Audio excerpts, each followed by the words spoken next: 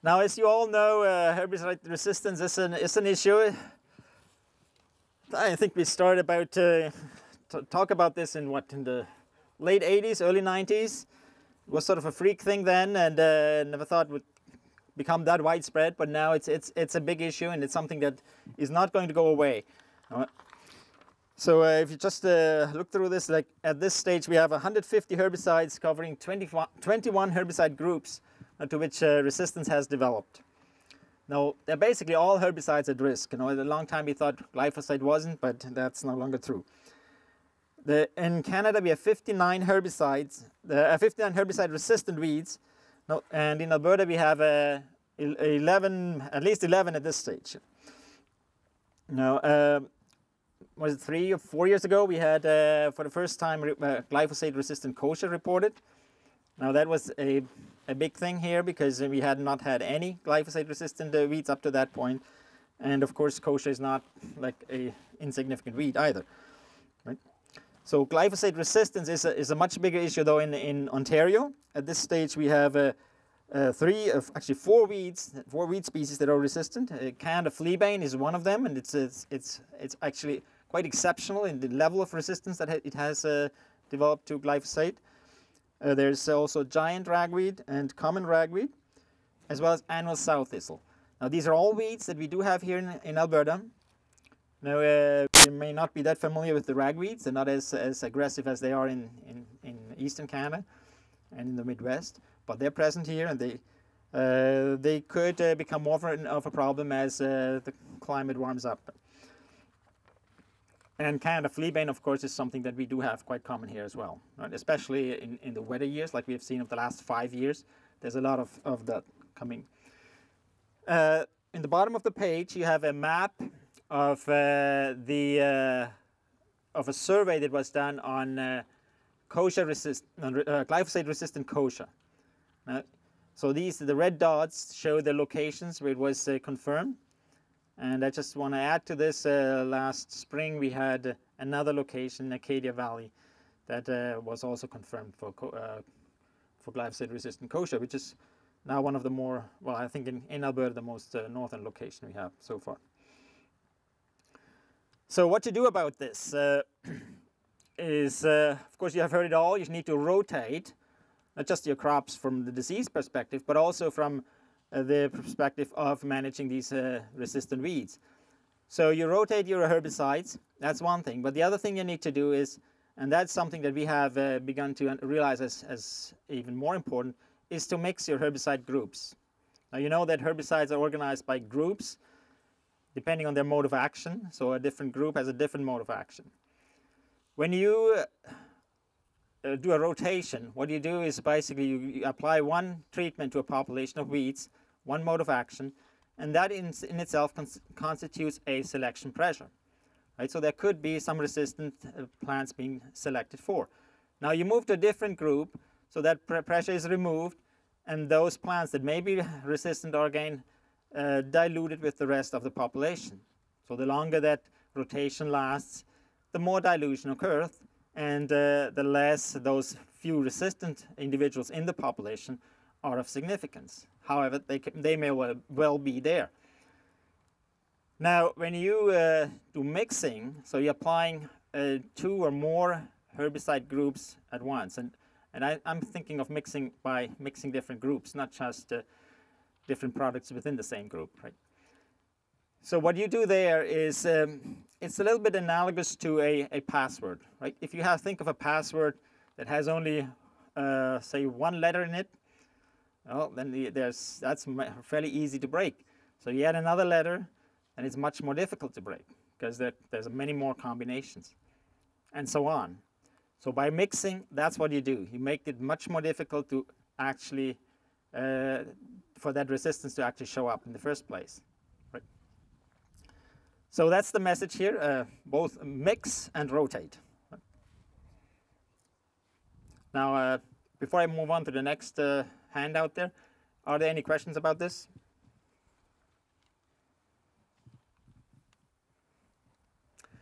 No questions. All right, that's good.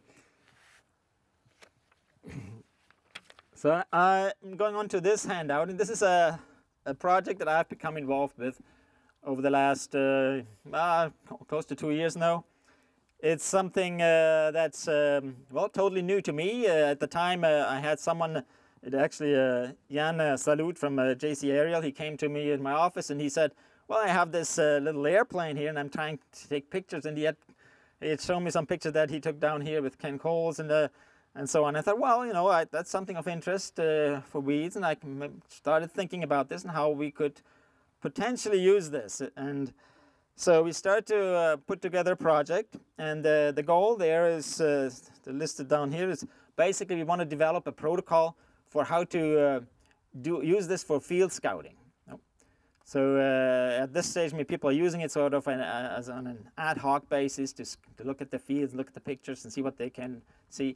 But it, the purpose of this project is to develop a more of a um, a full uh, integrated protocol, you know, with a, with with in mind what the actual product is going to be and what this is going to look like and what else is needed. You know, how far is the technology really there? And then, uh, secondly, also to look at the economics of this. Is, is this a, a viable business, say, for a consultant to get into? Is it really of enough value to justify the cost and so on? Now, if you want to turn the page, there are uh, basically uh, two um, approaches to this. You know, you've seen a lot of people having these small unmanned aerial vehicles. And maybe I should say a few things about those first. There are uh, basically two types. There are small model airplanes, so we call them fixed wing. And then there's the other ones that are um, with uh, like small helicopters with more than usually four or, or six or eight rotors. Right. So the, the airplane, the fixed wing ones, they're particularly useful for flying at, at perhaps at high elevations and doing larger areas. Right. And the, the, the hexacopters, the multicopters, they're, they're really uh, amazing how stable they are how uh, they can fly to specific spots. You know, and they, they're easy to land. They land right in front of you. You know, you don't have to, it's not like in a, a fixed wing airplane. You, know, you have to find a, a landing a spot to land it and then they hope that everything goes right and it doesn't hit anything and so on. So uh, they, are, they have different uses. And uh, limitations with regard to the technology at this stage is uh, that uh, it's the, the, time they can uh, uh, fly. You, the, the, the, ones that are used nowadays mostly are battery powered. And of course, as you know, batteries don't last that long. So uh, usually the flight times are less than 15 minutes. 15 minutes is stretching it for most. Now, having said this, though, there are a lot of efforts going into extending those uh, flight times. Now, are, there are there's equipment now out there that can do a half an hour and even more. So uh, that is that is changing, and so is the whole technology in that area. It's, it's, a rapidly developing field. You just have to go to the to the web, you know, look it up uh, the UAV or, or drones or field scouting for drones for field scouting or something like that. You'll find lots of information. Now, with the with the um, the aerial uh, photography that we're taking, we're, we're trying to develop maps of fields, right? not just uh, sort of an ad hoc approach, but we want to develop maps that can be downloaded and then passed on to a producer uh, and kept for records as well to, so that you can use those same those images year after year just as, as a uh, for record keeping purposes but also to better understand what's going on in the field over time. Uh, in order to generate these maps we uh, use uh, well cameras of course and we, these images are stitched together. We, uh, we use infrared cameras or cameras that are equipped with a filter to to uh, measure the infrared and not just the, the normal red, green, and blue. Right? The infrared, the thing with the infrared is that uh, vegetation uh, reflects infrared more than it reflects the other colors, including green, right? So what the advantage of the, this is that the infrared shows vegetation better than it shows other things, and you also get you maximize the contrast between vegetation actively growing vegetation and uh, the soil background or, or anything else that doesn't uh, that doesn't uh, uh, photosynthesize basically. Right. So that gives you um, um, in, in improves your ability to see what's what's going on in a field in terms of differences in uh, growth and vigor and, and, so on. Now, on uh, page three of the handout there, what, what I'm trying to illustrate is, is how, how this is, what this means in practice. First of all, you see that the image has sort of a, a reddish tone to it. The, the, that red is the uh, near infrared, which is uh, the, uh, the green vegetation in this image. So this is an image of a, of a potato field taken at the beginning of June. At that time, the potatoes were just uh, emerging. And you can see there is, uh, well, we had uh, typically about 120 images taken per, per quarter section that have to be stitched together. And then once they're stitched together, they have to be uh, rectified so that the measurements, uh, the, the dimensions of the image correspond to actual uh, dimensions on the ground. So right, you can then use them like, like you would use a map. And, and those images are then put into a GIS and we can work them with them as, as you would with a map. The um, following page, on this page here, you see uh, the, the difference between um, the images taken with the uh, near infrared camera and then the middle image is uh, on, on the left side there shows the that that same image modified so to so as to show uh, basically green. So it, it's it's uh, we're, we're substituting the near infrared with the green uh, so as to make it more natural right? So, but it's still the three channels, the three color channels. So you have the near infrared and you have the the uh, the blue and and the- green, right? So the the that is uh, then the bottom channel. The, the bottom image is different in that sense. The the bottom image has only the uh, a calculated uh, value for for the um, calculated based on on the the near infrared and the blue. So this is called the uh, the vegetation. It's a it's a vegetation in, index, and it's a, a, a. It's it's calculated as a ratio of the near infrared over the near infrared and uh, another channel added to it. So what you get is it's just a, a value between minus one and plus one, and this is then. Uh, uh, uh, and then a color value or a color ramp is assigned to that. And so this is how this ends up being between red and green, where green is the highest value plus one and, and red is the lowest value minus one. Now it also coincides, of course, we choose the ramp so as to make it as uh, uh, intuitive as possible. So the green is actually also vegetation. So uh, this again, this is the, the image that is the most useful in terms of interpretation for the uh, agronomic uses. In, in most situations, that's what you, you want because you can see the vegetation there. And, and you see there the, the magnified area. Uh, this is at 100% uh, zoomed in, so you can see the actual green areas where the potatoes are showing up. And the um, as opposed to the other images up the, up there, you see them as well, the, the potatoes. But the green spots on the, the bottom image on the right, they are areas where there is more vegetation than uh, typical. So these are the areas of interest. The question is, at that time we were interested in seeing if there is any any weeds. You know, we detecting weed patches basically. And uh, this with this uh, image we could uh, detect some weed patches, as you will see on the on the following page, right? Now, when it comes, of course, to detecting weed patches, resolution matters. And as you know, when you walk through a field in, in the spring, you see weeds here and there, and uh, that doesn't necessarily form a weed patch. And of course, you may still have to spray even if there aren't any patches. With this uh, kind of uh, camera that we're using, our resolution is six um, centimeters to the pixel, and that's when we're flying at about uh, 600 feet in the air, right? So uh, six centimeters to a pixel doesn't uh, allow you to detect uh, small seedlings that are not grouped together in a patch, right? However, that, that's a limitation. But nevertheless, uh, it, it allows you, it's good enough to detect weed patches though. Now, uh, the following pages have uh, similar images, you know, the same uh, thing with uh, in, in an alfalfa field.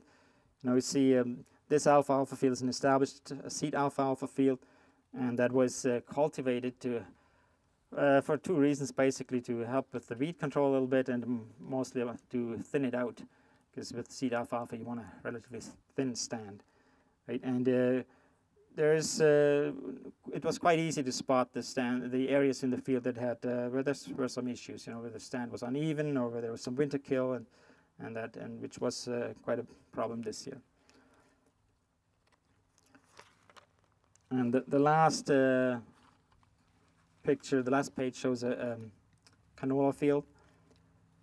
Uh, same thing there. We, we, we are able to detect patches, but we're not able to detect uh, individual seedlings.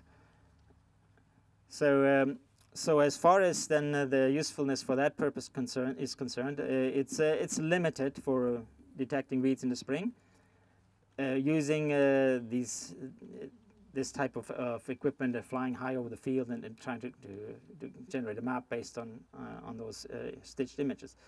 However, another approach to this could be you could use a, a hexacopter, you know, and, and actually sample the field rather than uh, go and try to develop a, an NDVI map as we did here, right? And with sampling, with that approach, it's uh, that's a little, uh, still a little uh, into the future because if you were to sample a field, let's say you go over a field and you take images at a low elevation, say it's just a few meters above the soil, and you would uh, then uh, process those images. Now, just to cover a, a, quarter section, you may have to take, um, maybe say 2,000 images or so, you know, quite quite a few images to look at. So that is, of course, not practical, and you would have to have a, a a way to automatically uh, uh, analyze those images for, for weeds.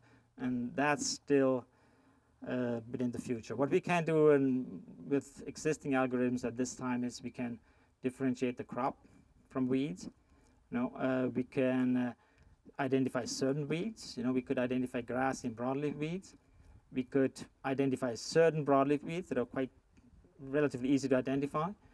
But uh, when you're having a, uh, weeds that are uh, mixed together, you know, that's where it's still, uh, so to reliably do this and uh, identifying by species, that's still not, uh, we're not quite there yet. But uh, it's, it's certainly something that people are working on and that's not, not impossible. I, I think that will happen within a few years. Now, as far as, we, as diseases is concerned, we run into the same issue. Some things are easily um, detected with an NDVI map when you have patches, right? Now, other things are uh, where you have a sort of a, like often you have the foliar diseases, it's throughout the field, it's fairly uniform, and you wouldn't see a patch. And in that case, uh, we, the same approach as I just mentioned with the, the weeds may be required, which may be uh, uh, useful. But again, for each of these things, you'd have to develop specific uh, ways to do this. Like you're dealing, it's quite different identifying weeds than identifying, say, um, uh, yeah, lesions on, on, on foliage, you know. So uh, it's something that uh, we're, we're, contemplating and, and, hopefully will be developing further in the future. insects, yeah, cutworms are easily identified because they make nice big patches. Know, uh, other insects, we were, we're thinking about adding a sweep net to a hexacopter. But these hexacopters, the, the good ones, are fairly expensive, so that is a little risky, and you don't have the money for that right now. but there are options. So there's all sorts of things you can come up with. Any questions or things you would like to point out?